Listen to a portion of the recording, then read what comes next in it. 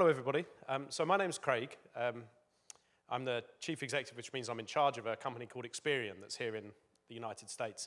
Um, although you might gather from my accent that I'm originally from England.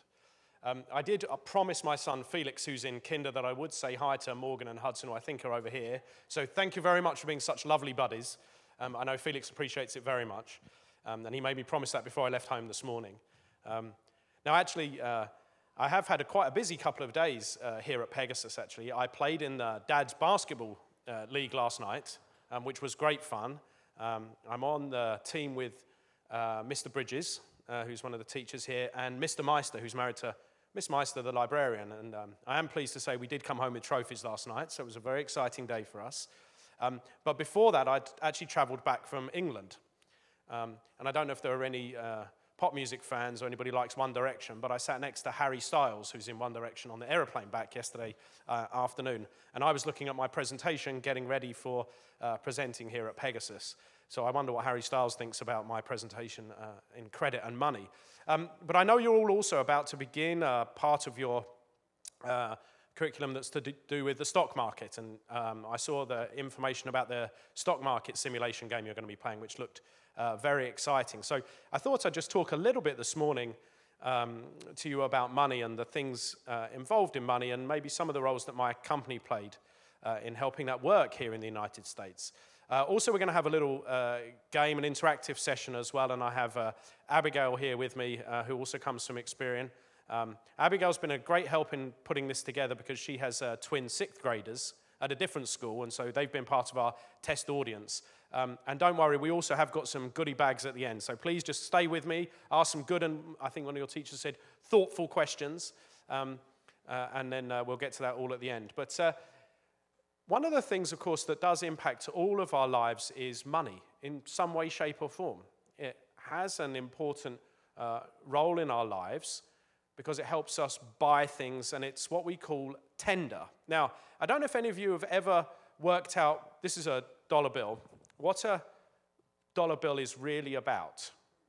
So, does anybody know what it says at the top of a dollar bill? On one side, it says, In God we trust, so not that side, but, but on the other side, it says the United States of America, and then it says some important words. Have it? No, it, it, it talks about the important parts of our society on the other side, but on this side, it talks about what the money's about. Um, no, but that would, be, that, would, um, that would also be a good thing. That's not the bit I'm talking about. So I'll read you my bit because this um, helps us understand a little bit about the beginnings of money and what we call credit. So it says, This note is legal tender for all debts, public and private. Now, I'm originally from England, as I said, and on our bills, it says something that means pretty much the same thing. It says, I promise to pay the bearer, the person holding this note, the sum of and whatever the amount is. What that basically means is, in, in some way, shape, or form, money, these kind of bills that we have, don't, aren't worth anything. They're not worth anything at all. They're just the promise of some money. Because actually, if you think about it, what can you do with a dollar bill? Well, actually, you could buy something with it, but it of itself isn't worth anything. And so, the whole thing that underpins, the whole thing that sits underneath the way that we think about money is that we promise things to other people. We say, I'll give you this if you give me that. I'll give you this dollar bill, and you give me that candy bar. You, in turn, can give this dollar bill to somebody else.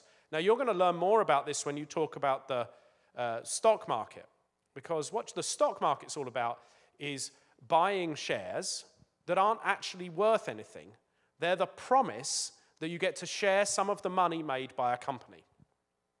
This is a very important concept that I will keep talking about, and I hope your teachers will work with you on because it actually underpins really the way that money works in society. And what my company does is it helps people understand whether it's a good choice to give to lend money to somebody or not. Are you a good choice? Do I think that you are going to repay the money? Do I think that it's a responsible thing for me to do? And so, really, money comes all down to promises and good choices. So, I'm really delighted that as fifth grade already, you're starting to think about money and what it means. And so we talk about this term financially literate. Financially meaning being about money, and literate in this context meaning having a good understanding or knowledge of.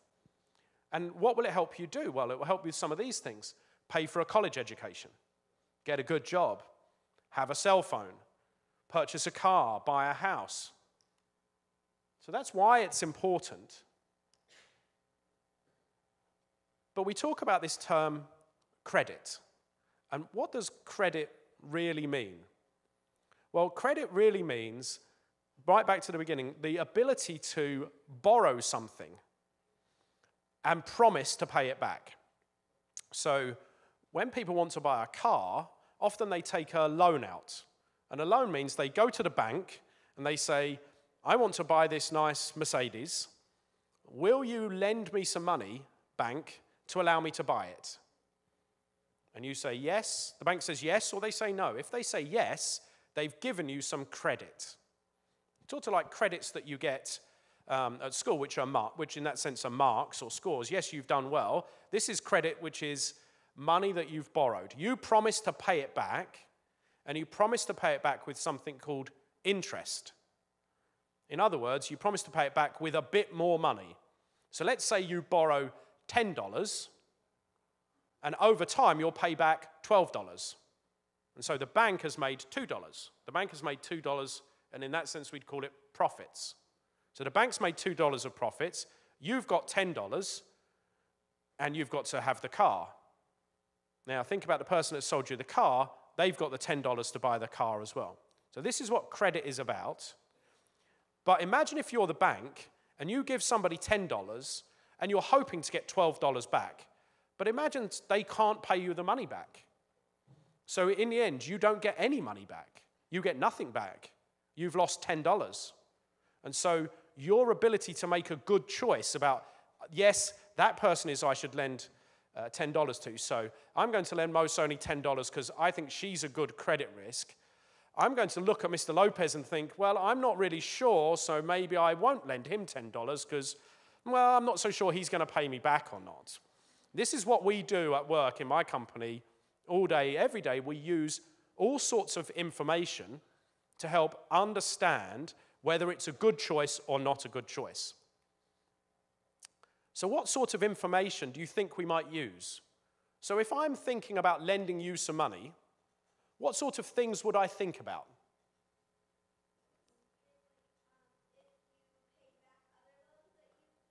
Excellent. Excellent answer. If you paid back other loans, that's an excellent answer.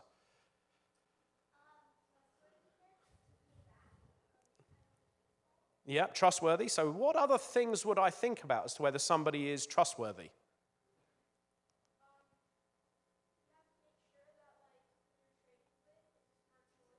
Yeah, make sure it's a smart choice, absolutely.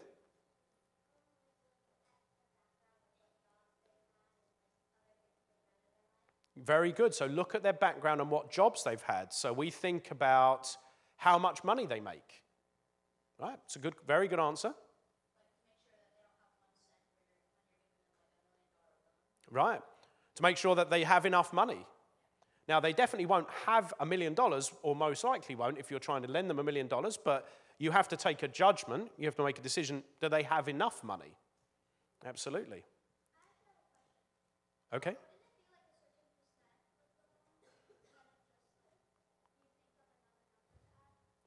Uh, yes, that's right. So the question was, wouldn't it be a percentage? So interest rates, which is what we call it on loans, are normally calculated in percentage terms. That, that's right. Um, but sometimes they're fixed amounts. It depends on the kind of loan, but normally they're in percentage rates. I just use a number to make it easier uh, to explain the example. But thank you for the question. Um, so those are all sorts of different things um, that, we might, that we might use to work out whether somebody's a good choice. And we'll come back and talk about that a bit more. So there are lots of different kinds of what we call credit. So here's a good definition for you to remember. Credit is receiving money, goods, or services. So money, things, goods, or services, going to the movies, uh, having uh, somebody cut your hair, um, that you pay for at a later date. So I'll get it now, and I'll promise to pay it later. Basically, all the way back to the beginning, it's all about promises and good choices. We talk about different kinds of credit, and maybe sometimes they're at different kinds of amounts of money. So, a mortgage, probably you all heard the term mortgage, a mortgage is used for buying a house. Your mortgage is basic, normally used for buying a house. And so, what happens is, I choose a house that I'd like to buy, and I go to the bank and I say, I'd like to borrow some money to buy this house. And they're okay with that because they look at all the choices about me. Do I pay my debts on time? Am I a trustworthy character? Do I have a job?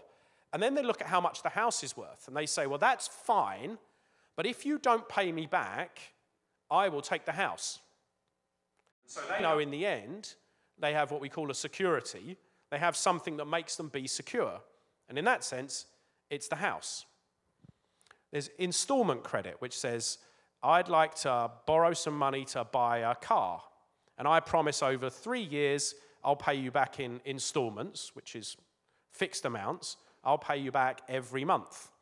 And so over three years, I'll pay you back in 36 months with interest.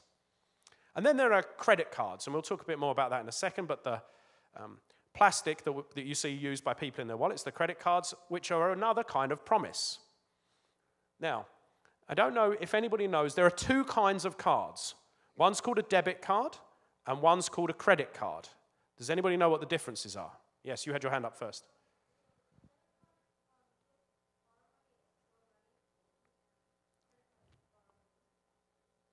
That's right. So the difference between a debit card and a credit card is in a debit card, you have an account that you've put your own money into, and this is a way of spending that money. Basically, it's a replacement for cash. It's a replacement for going to the ATM machine and taking money out of the, out of the bank. You just use the, use the card instead. A credit card, you don't have the money already. You promise to pay the money in the future. So that's the difference between a credit and a debit card. Did you have questions? Okay. Exactly. In the debit, it goes straight out of your account, straight away, because you've got the money. And in the credit, you get a bill and you pay monthly. Yes?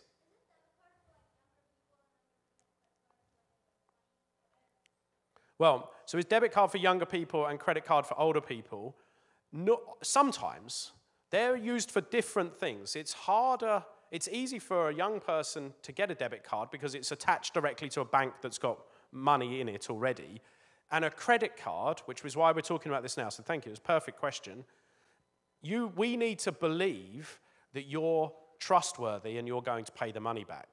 Now, it's not that young people aren't trustworthy, it's just that you don't have a job yet. And so you don't have any way to get the money.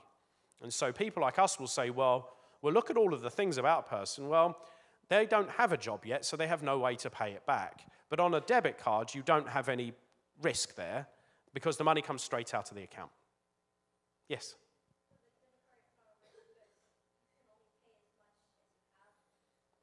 That's right. So on a debit card, you can only pay as much as you have uh, on the card. That's right. So this is what we do at my company. We do what's called credit reports and credit scores.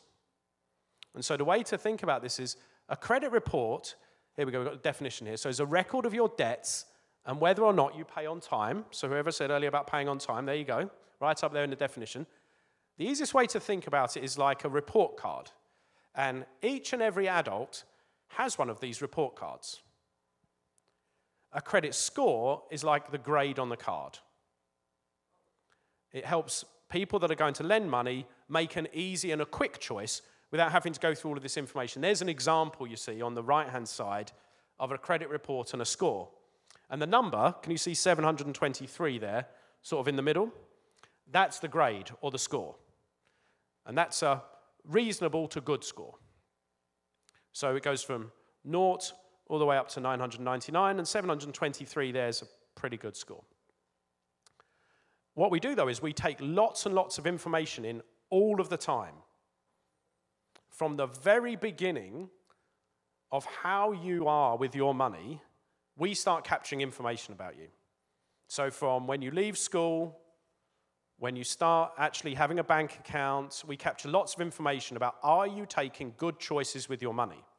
And so the good choices that you take early on with your money impact all the way through your life. And the more and more good choices you get, the better and better grade that you have. And when you start taking bad choices, like not paying things back or being late or not being thoughtful about how you use your money, your uh, grade goes down. And when your grade goes down, your ability to buy bigger things, like houses and cars and other things, goes away. So credit can be used for big purchases or it can be used for small purchases. And the one thing I want you all to think is when it's time to leave school, or even now, I think one of you said you had a debit card already, are you taking good choices with how you use money? Because it impacts you all the way through your life. So let's just think now, let's go back to systematically how it all works, right? So we're trying to put some big, big ideas out here. The first of them is money is a promise. The second is the good choices that you take impacts whether people will lend you money over time. And, and the third is how money flows. Because in the end, you have to pay it back. This is the thing everybody has to remember, right? We all have to remember this. When you borrow money, you have to pay it back. And so you need to be sure that you can pay it back. And that's your choice that you have to take. So here's the easy way that money flows. It'll be my life. I earn a paycheck. My company doesn't give me the money, it puts it into my bank account in a checking account.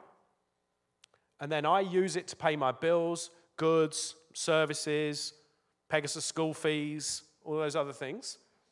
Um, and then whatever I have left at the end, I save and I use for the future. So, this is the way that the basics of monies work. Always remember that this is what's actually happening because the ways these days that we're able to interact with money are ever more confusing, or lots and lots of them, right? So, who could think of some examples of where you might already be using credit? At a restaurant, yeah. That might probably be your parents. What's something you might do that might use, a cre- use credit? Buy a computer, yeah. Yeah.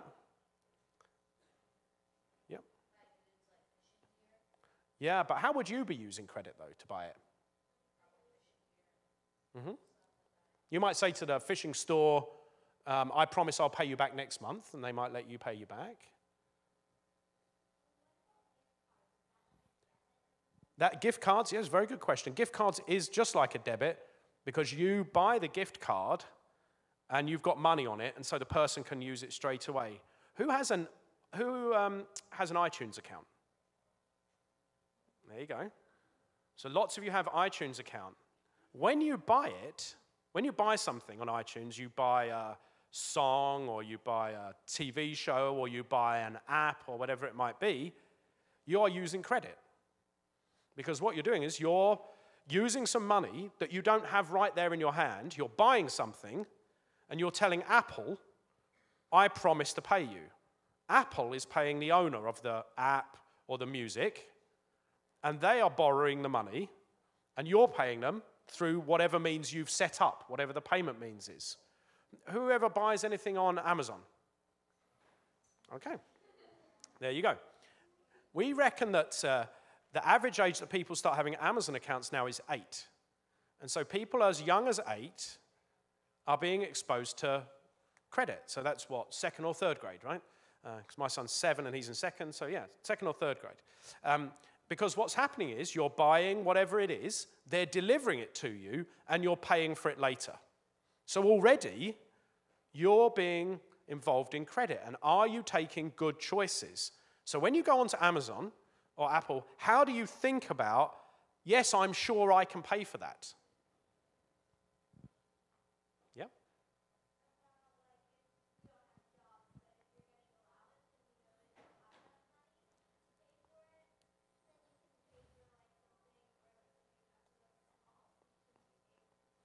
That's right. So you're, you're, you're making sure that you have enough money from your allowance to pay for it, which is exactly right. And this kind of basics needs to stay with you all the time. Don't spend more than your allowance because you don't have any way to get the money.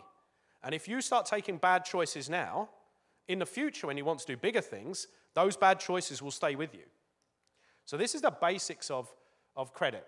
We can go past this because I think you're also smart. We got straight past this already. Um, there are lots of different kinds, though. So, there are some basics, and I promise to go all the way from the basics to maybe some of the more advanced thoughts. So, cash.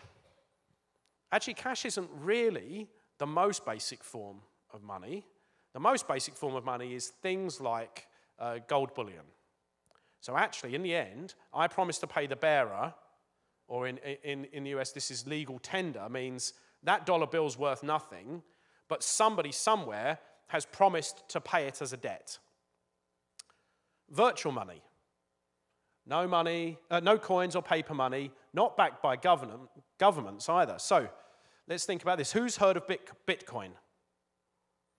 Okay, so some of you have heard of Bitcoin. Now, this is a very different kind. So in the end, whenever you're on your Apple account or your iTunes account or your Amazon account, what you're doing is you're using money through credit, but that money in the end is backed up by a government.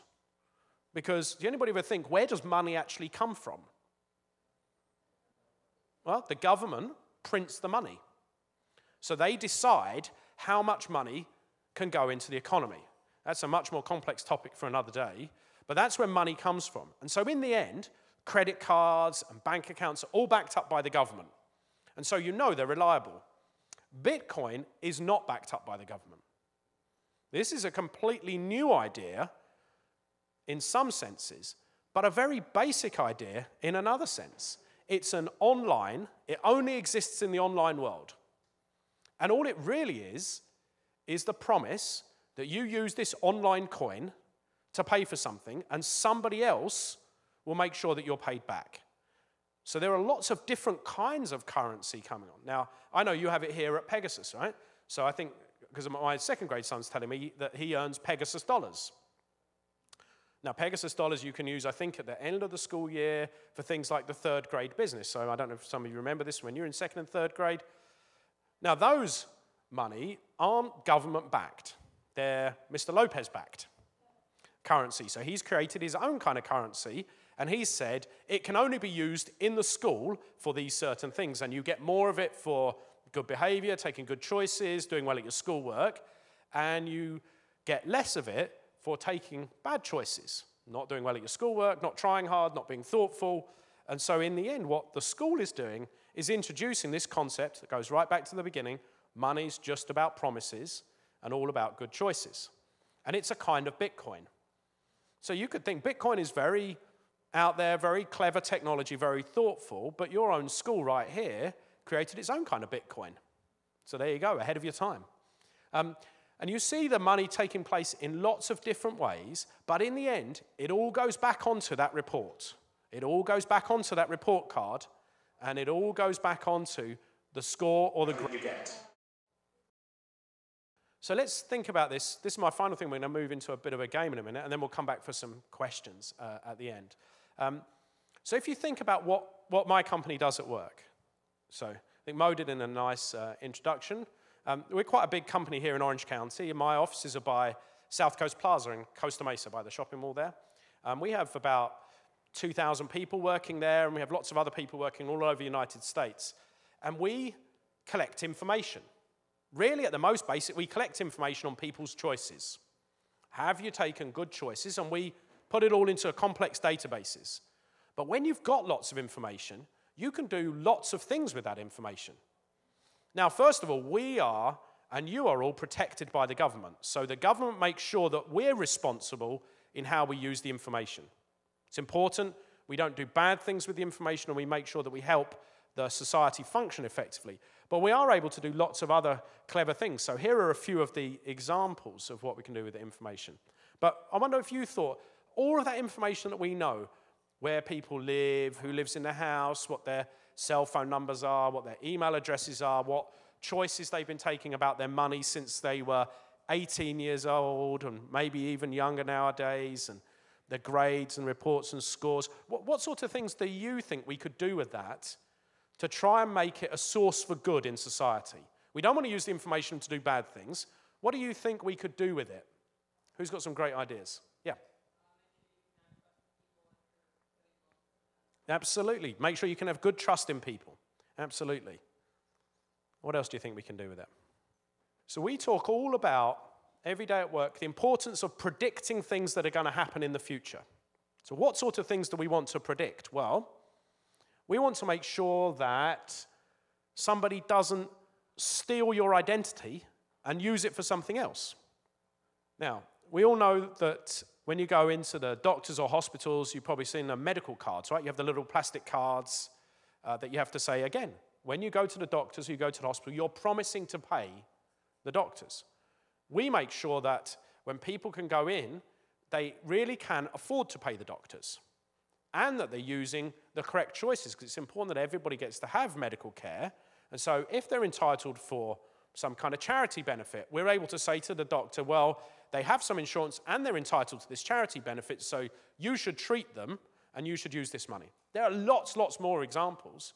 Um, and that's what we do all of the time is think about how information can help work out things that are going to happen, predict things that are going to happen in the future, and therefore help individuals and companies and other people take good choices with the money. So, I'm going to show you in a second um, our latest commercial, because one of the fun things I get to do uh, at work is um, advertise some of our products. And sometimes we uh, sell to big companies, and sometimes we sell to people like you and your teachers and your mom and dad and your friends. Uh, and when we do that, we need to have commercials. But, but watch the commercial and think about how it tells you all of the messages that I've been giving. Remember, money's all about trust and good choices. Um, and so we're going to uh, flick over in a second to show this commercial. And this is our very latest one that we've put out there. This is how banks used to see me, ever since I had a pretty bad accident three years ago. The medical bills, the credit card debt all piled up. I knew I had to get serious about my credit, so I signed up for Experian. They have real live credit experts I can talk to. They help educate me on how debt affected my FICO score, so I can finally start managing my credit. Now my credit and I are both healing nicely. Get serious about your credit. Get Experian. Go to Experian.com and start your credit tracker trial membership today. So before we break quickly into the game, let's think about what that, what that commercial says. This man had an accident. He had a very nasty accident, and unfortunately, life got on top of him and he stopped paying his bills on time. Now, that unfortunately means that people that are extending him credit, I think we've talked about that, right? People that extend him credit think it's not such a good choice. And so he needs to both get his health back, but also his financial health back. And so we helped him get his financial health back. And while he was able to do that, then he was able to go back to doing all of the things that he wanted to do in his life. Uh, I just wanted to thank you all very much. There were some really smart questions. Um, I'm uh, talking at Georgetown a bit later in the year, but you're a much smarter audience, I'm sure, than all of them. Remember, when you go into your financial management, uh, money is all about promises. And the good choices that you take make a real difference to the future that you're going to have. Thank you very much indeed. And we've got some goodie bags as well, so thank you.